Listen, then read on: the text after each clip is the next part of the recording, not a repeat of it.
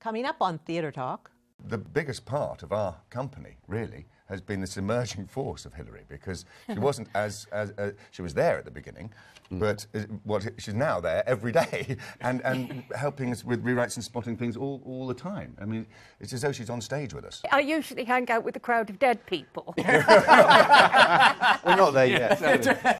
Theatre Talk is made possible in part by the CUNY TV Foundation.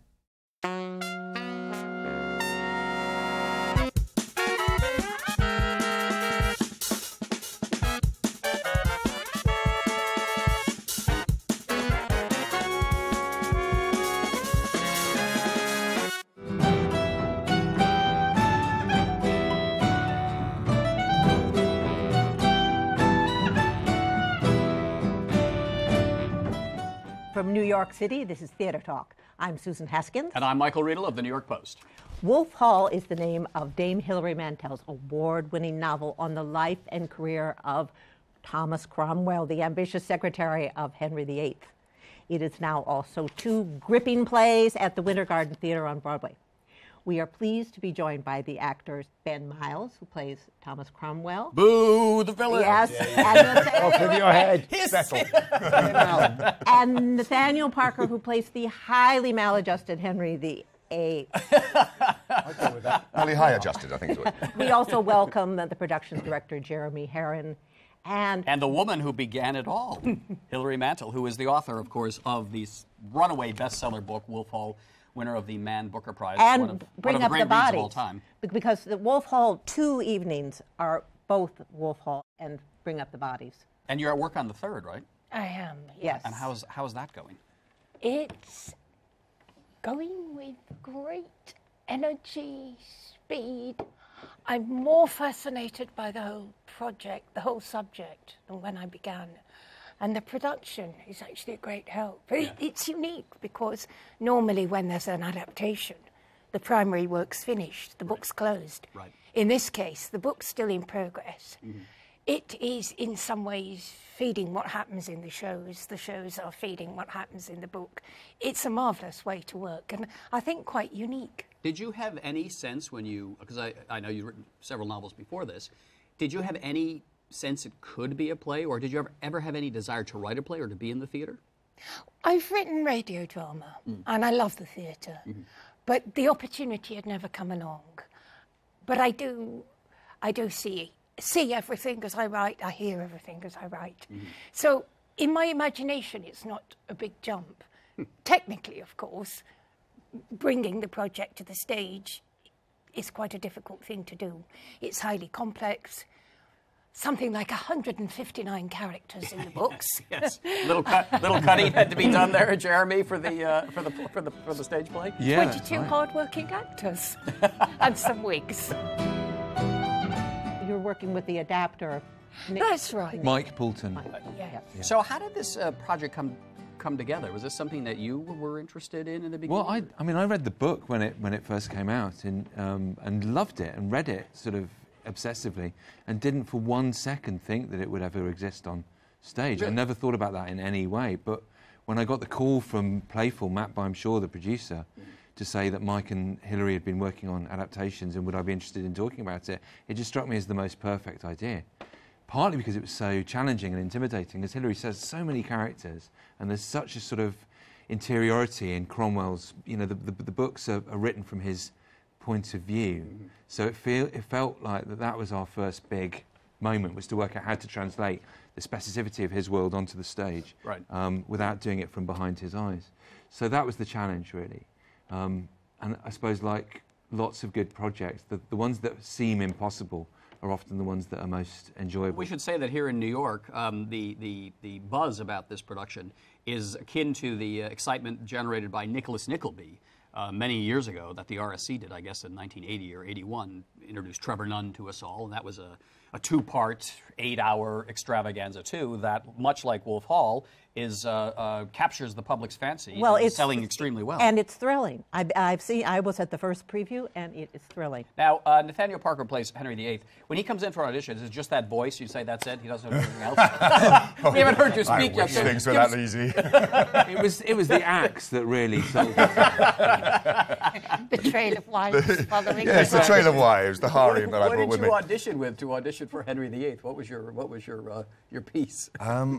He's, but Ma- uh, Nat is beyond that stage of having to do a piece for. oh, offer for a only. Offer, Yeah. offer only. Yeah. Well, he to did. He did come in and meet for it, and he was he was uh, he was utterly impressive.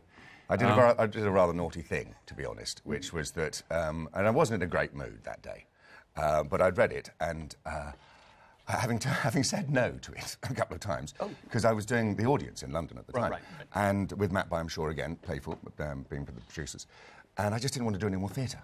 It takes you out of home so much. Yeah. And so I said, no, I don't want to. And he came back again and said, please don't. No, I don't. No money in it, really. Um, so I went, no. And then they gave me the script. I went, mm, okay. I'll, I'll, I'll have a look. I'll meet with Jeremy then. And I, met with Jeremy. And um, he said after it, okay, c- can we just read a scene? And I went, no, I don't want to read a scene. That's the kind of mood I was in, right? So I don't want to read a scene. He turned to the, um, to the cast and he said, I thought we'd agreed he would read a scene. I said, all right, I'll read a scene. And I'd learnt it. Uh, it was a bit naughty. Was it? It was- Did you know this, that fun. it was that you were No, I just thought, oh God, what an idiot. I didn't actually think that. I thought much worse. I won't say that. Actually, what was what was brilliant, and it seems to kind of sum up. I mean, Nat, I think that was really clever because he just came in. He'd obviously committed to the project, and it's a difficult thing for an actor, isn't it? When you go and you have to read and you get judged on something that actually is the start of a kind of creative Yeah. journey. But what was just amazing was that he just pulled the rug out from under us, and it was a kind of pitch perfect production. It But I still in came and acted. away. I still Yeah, came was away wonderful. actually thinking, I'm, I, I- you know, there's still a, a slight doubt in my mind. And I was working with Penelope Wilton at the time on a radio, wonderful actress. and she said, uh, "Oh, I hear you're working with Jeremy." I don't know how she'd heard so quickly. Maybe you'd spoken to her or something. But uh, I said, mm, I did say, "No, no, you must. He's the best director around," and he is. I mean, I know he's here right now, and I'm hoping he doesn't give me notes on last night's show in front of the whole audience. But it was, he is the best I've ever worked with. How brilliant of you to be Henry VIII at your audition. Now, w- w- did you act Are you like offer only the two divisive? did you act like the divisive, uh, the sneaky Thomas Cromwell at your audition?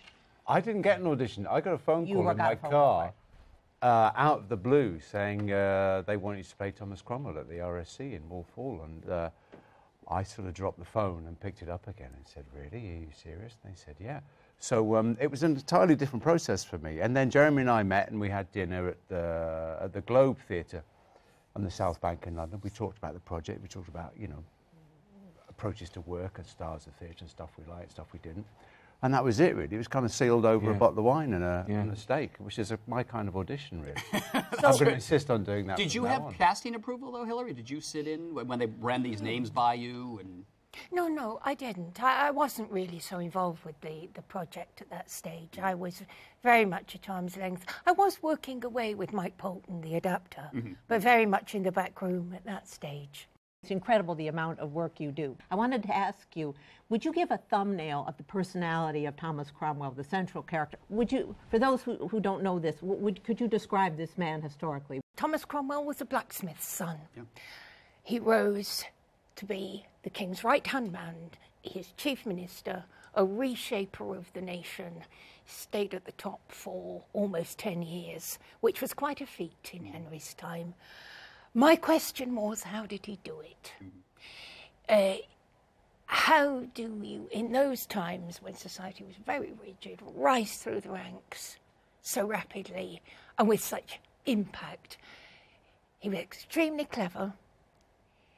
He was cool. He kept his nerve. He was a big picture man, which made him audacious, a visionary. And it's interesting you start the book by telling us that he's an abused child. That's not so much in the plays, but that, you, that he's, a, that, that he's a, a blacksmith is beating him up all the time, and so he has this, this background that's. Yeah. You factor that in, right? Yes. I did, yeah. I mean, I, I remember very, very early on to- in sort of script uh, conversations we had. I was, I was, I was quite sort of insistent that that scene was in. That was somehow we got to show the audience that you know, we had ideas of like getting a young seven-year-old kid in and having that scene, not up, right. you know, but having that scene happen at the top of the show. But uh, dramatizing your books was a process of kind of elimination of. Yeah. Yes. Of, They're of- so rich. Of, of what has to, you know, we can't we can't have the whole story in the plays, but funnily enough, we kind of have got the whole story in the play. Oh, you don't need we it in the play. We allude to so many Yeah. other things that aren't in the play. It seemed to be the biggest discussion in the press in England before Yeah. we opened was can this possibly be done? You know, Yeah. No, it can't. And Yeah. What do you mean, the- a skeptical British and we- press? Never heard that before. Well, we hit them between the eyes. I mean, from the word go. Actually, I remember sitting at the table read when I hadn't met I hadn't met any of the cast before. I didn't know any of them, and um, I just thought, oh, this is this is a hit. We don't need to worry about West End. This is where we need to focus. Is Broadway. Really? And I just I've never Oh, had that. I wasn't feeling thinking that. I, I, I was thinking, how do we get the running time down? but I'd never had Five that hours sensation. to, to two and a half. Yeah, no, I You've did. always I- said. New York will like Thomas Cromwell. Yeah, I had Yeah. this idea early Yeah. on mm. that, that i- i- if this if this town existed, he would have come over here and just. had a great time. He'd have been mayor in a month as well. That's right. It's very, it feels very contemporary. I mean, I think, Yeah. you know, that, that's why I suppose this story has been reinterpreted over the years so, so successfully is that in some, in one way or another, it ends up talking to the culture that it, that, that it is. And I think Hilary's genius has been to locate in Thomas a, a character that really speaks about where we are culturally. He's not, he's anti-heroic in the Yes. most Yeah. engaging Yeah. and exciting way, and he's kind of unknowable, which is, which is brilliant for two, uh, two shows, because the audience constantly on the back foot, on the front foot. They think they've got him. He slips out of their grasp. He's always moving and always changing, and he's terrifying, but he's utterly charming as well. Yes. So it's a kind of there's a sort of guilty pleasure in there as He's well. He's a sort of Tudor Tony Soprano, if you will. Yeah. Yeah, I mean, actually, you know, rather than any of the Yeah. historical um, examples, like The Sopranos and Yeah. Godfather and House of Cards, things like that, were the, were the kind of great, um, the great influences f- f- for us in terms of how do we make this character live? How do we, how do we see him as a real person and not some kind of dusty historical Right. artifact? Well, that's the genius of the book. I mean, all the Exactly, characters. I was going to ask you about Henry VIII. How do you? I mean, Henry VIII. We all have the image. You know. Yes. The pictures. Charles Laughton. And how much does your costume weigh? Uh, well, th- varies. I've got oh, I've quite a few different costumes, but by the end of it, my last one, which I have to race into in a matter of seconds, is about forty pounds. Okay. And uh, so I'm going in and out of these things. There's a, there's a very light one, which is easy to wear, a, a nightgown. But otherwise, I'm in and out of armour and various costumes. And it's such fun. It doesn't give you a chance to breathe, really. Um, and he is a very different Henry. You're right. Normally, the Lord and stuff of the chicken bone sucking, thigh slapping, wench grabbing Henry Yes. isn't here. No. Uh, and one of Hilary's... That's off stage. That's off stage, yeah. Thank you, man. I was hoping you would. Um, but one of Hilary's genius um, moments in this, I think, is that uh, I remember on the, our second night in Stratford, a friend of mine brought his 13 year old son, and I said to him afterwards in the dressing room, So, did you understand it? Slightly nervous about his reaction. And he said, Oh, absolutely. It's not Shakespeare. Yeah. And that is, for the, the dusty old historical thing, if, if anybody's out there thinking, oh, God, am I going to have to sit through Twyneth Twanoth Yeah. rhyming couplets all evening? Yeah. No, you don't. It's not in verse. absolutely. It's, not, it's not completely updated modern. It's not completely No, modern. And, and with Henry, I won't say um, didn't. I'll say did not. I, there's a certain amount of things which I will almost always try and uh, lift, but it's, um, it's absolutely vibrant and as, as open as it possibly can be for today's audience. Right. Um, and Henry's just great. Everybody has a picture of Henry anyway, uh, and they've all got this idea of him being. So, but I'm not playing that guy. I'm playing Hilary's version of Cromwell's version of Henry. So when Henry turns to him and says, "Tell me what to do, Thomas," hmm. it could actually have been just him saying, "So Thomas, what are we going to do?" But it's, it's Cromwell's version of this. This is what he said to me. He said, "Tell me what to do," you know, and this is through Hilary. So I'm having a ball, not playing the one that we all know. All the way out. Uh, you defeat the audience's expectations the moment you walk on and open your mouth. That's the thing. Sorry, and that is, you know, that surprise for the audience. Hmm. Gives them some work to do. It pulls them into the play. Right. We're not telling them something they already know. Right. Right. We're asking them to use their imaginations hmm. and and you're going to meet you're going to meet these people for the first time in a way, not the image you have of them from the history books. Yeah. No. Oh. Exactly. That's, That's the great thing right. that this story's done, these books have done, that Hilary's done, is sort of re redefine these, these, these icons that we have, that we've had in our, in our consciousness, you know, Henry VIII, Anne Boleyn. Yeah. You've re, sort of reminted them for a whole new generation of people, of, of readers and theatre goers, and it's now you, this period is fascinating for the English, and I think for, for people abroad as well. You know, it's, it's, it's, it's a very important stage in the history of England, the history of Europe, and the history of the world.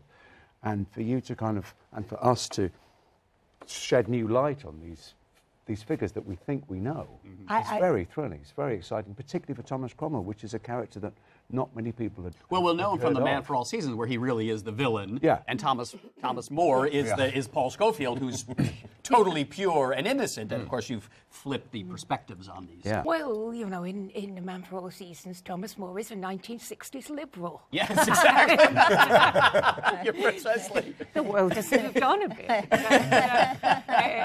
Uh, you know, he was a politician. It's hard to be a politician and a saint. Yeah. And I question the saint. You got rid of the saint part. That's right.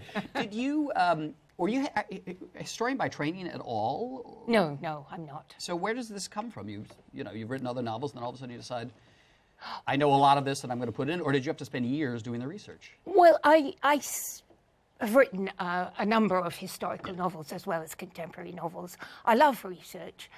Um, I don't think of it as, you know, a phase you go through. There's the research, then there's the writing. Research is creative. Hmm. And until you sit down to write a scene, you don't know what you need to know. Hmm. So the process of research is continuous. What you're looking for is the tiny detail that lights up a page mm-hmm. or the word that lights up a character. Mm-hmm. And most of what you know is kept below the waterline. Mm-hmm. It's only the tip of the iceberg. Did you have access to a lot of materials and documents that most people can't get to see because they're so rare and valuable? I mean, do you have like a special key to the British Museum, the Hilary Back door, Mantel, the Hilary Hilary Mantel Mantel door. room, where you get to look at boxes of things that no one else gets to look at? No, what I've got is the documents that are available to everybody, and that many of them you can see online. But I think the trick is um, to broaden out your research. You have to drill down into it like a historian would, but also you have to think about music, art, literature. What pictures would they have looked at? What books would they have read? That builds a world picture. So you come at it very narrowly and then you broaden the scope out. And it's a question of finding out where the facts ran out. And then, on the fa- basis of the facts you have, your best evidence that you can get, then you can start to imagine. Mm. That's where the novelist comes in. Exactly, yes. That's where you go to work when the historian stops. Ah. Interesting. You recommend the book in many of your interviews about Thomas, about Wolsey. The, the, Yes. And, and, which is readily available. The magnificent, flamboyant Cardinal Wolsey, most powerful man in England before Thomas Cromwell came along, was the king's advisor. Um, Wolsey had a household, uh, a gentleman servant called George Cavendish, who was with him at some of the big events of his life and at his deathbed. George wrote a memoir. He wrote it all down. And it's marvellous. It's the first biography in English. Um, this book teaches you to talk Tudor. I owe everything to George Cavendish. Good, thing, good thing that book's not Yes. copyrighted anymore. it's in the public domain.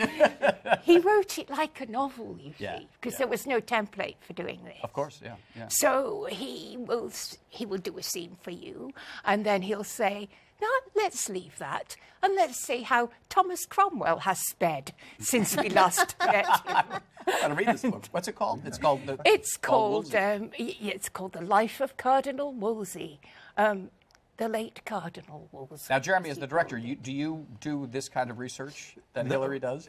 What's the point? We've got, we've got the fonts, we've got the She's the of all wisdom. I mean, I, I used to joke in Stratford that Hilary could spot an inappropriate prop at 100 yards. You know, she could just go, no, they wouldn't have that. So it's a fantastic resource to have for the um, for the production. the biggest part of our company, really, has been this emerging force of Hilary because she wasn't as, as uh, she was there at the beginning, but uh, what she's now there every day and, and helping us with rewrites and spotting things all, all the time. I mean, it's as though she's on stage with us. I usually hang out with a crowd of dead people. We're not there yet. give us some time. Give us some time. Wait till that, wait that matinee audience on Sunday. That's. How did you research your role? I read Hilary's Just books. Hilary- That's it. That's all you need. They're, they're much what I perfect needed. character studies for an Yeah. act. You know, I, I, I need go nowhere, nowhere else really. They were they're they're a fantastic source material. Still are. I'm still reading. I'm still talking talking to Hilary about it. Still emailing Hillary about it. Still trying to figure out why he does what he does. You know, these, these are these are perfect books in terms of character analysis. They really are. But the questions Ben has asked me throughout the process have been feeding the third book Ah, yes. Because I have to come up with answers. and some of those answers, you know, there may be scenes in the third book that I wouldn't have done if Ben hadn't prompted them with a question or an image. Do you have a, uh, can you give us an example of something that he's brought up Yeah, that got, got yeah. you thinking of Cromwell in a, in a different way? Cromwell ran away from home at the age of 15 after, as I describe it in my book, a very violent incident with his father, who was a drunk and a bully. We know this much about him. Why? What happened the night before the book starts? Um, I'd never, I'd asked myself that question. I hadn't come up, up with any answers. Ben said to me that you, um, in a certain scene in the play, you kept getting uh, an image of being under a bridge. And I said, No, you're not under a bridge, you're in a cellar. What arch you're looking at is uh, you're in an undercroft, it's the vaulting above your head. Somehow I thought, I know that instantly. And I built the scene from there. So now we know what happens. The night before the first book starts, it will work around and come in as a flashback in the third book. I asked Hilary very early on that the, the, the play starts Cromwell returning from uh, an assignment in Yorkshire in the north of England that Wolsey sent him on to try and get as much money as he can from the monasteries. I remember very early on in Stratford in rehearsals asking Hilary, emailing Hilary and saying, what do you think Cromwell might be thinking about on his journey down from Yorkshire to London, the sort of two-week ride? Any thoughts? And back comes a kind of four-page email, which, which was like a chapter from the book, telling me the number of horses he would have had to use, the weather on the way, the, the condition of the roads, the state of uh, the state of the English church, who he might be writing to. And I'm reading this with my jaw on the floor, and that and that from that first question has has, has come this fantastic sort of correspondence.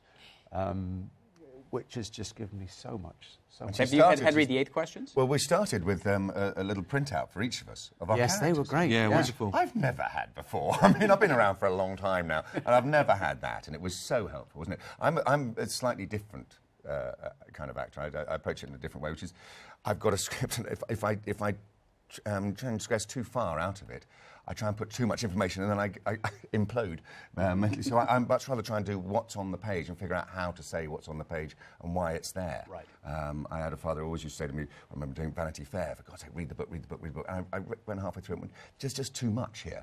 I've, got to, I've got to come back and just do what the script says and make it work within that environment. And that, that I really enjoy. Um, That's my challenge. I mean, I've, obviously I've read the books and adore the books, but that, if, I, if I kept going back to them, I'd be, I'd be going to Hilary, look, I really want that bit back in there. okay?" I mean, that's, that, is, that is the danger. And in, in rehearsal, we had a moratorium on. Yeah. I, I would see a copy of the novel and I'd go, what, what's going on? Trying to sneak. Because there'd be someone who's, who's playing somebody just going, actually, there's this great bit. and it's full of uh, great bits, and you really do have. I remember doing um, Hamlet all those moons ago with, with Zeffirelli. When Laertes has an 80-line speech when he basically says to Ophelia, "Don't touch him with a barge pole when I go off to university. He's crackers."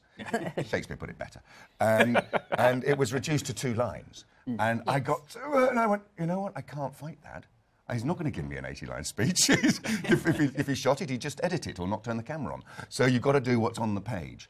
And I think that's really important with something which is so full for this. I do Hilary's version of Cromwell's version of Henry. Yeah. Because it was it was always really important for us. that- I mean, the novels are the novels, and, and if anyone out there ha, you know hasn't yet read them, they should read them because they're a fantastic, magnificent achievement and a and a wonderful experience. But our approach is different. We're making these stories, um, we're animating them for the stage, Right. so it's a it's a different experience. It- And you can't presume that everyone in the audience is going to have, have read the books. Well, and it, and it's got to be a theatrical experience, not just yeah. the novel on the stage. and it's and it's really important. And, as the director, it's always my job to just to try and put myself in in a sort of state of innocence almost when I'm watching it and work out.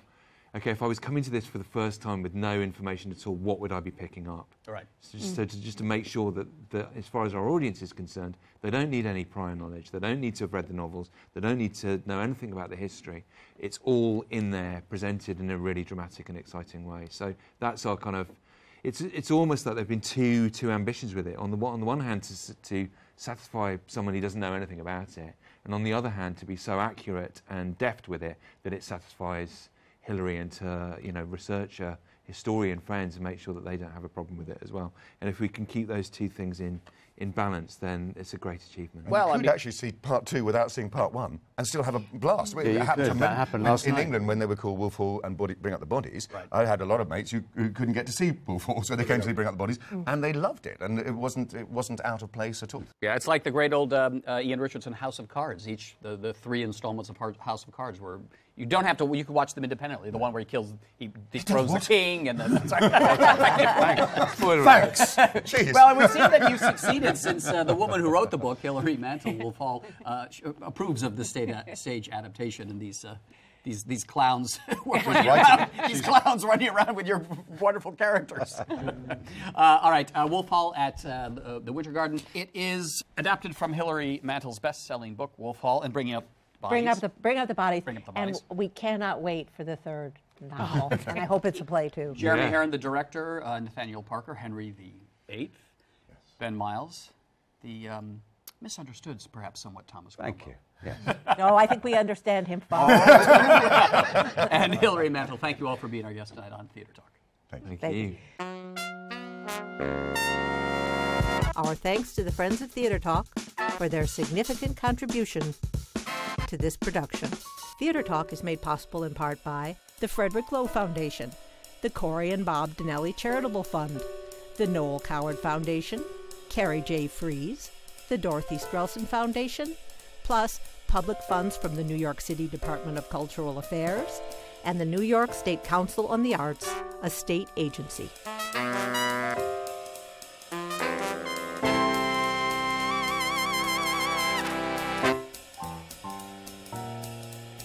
We welcome your questions or comments for Theater Talk.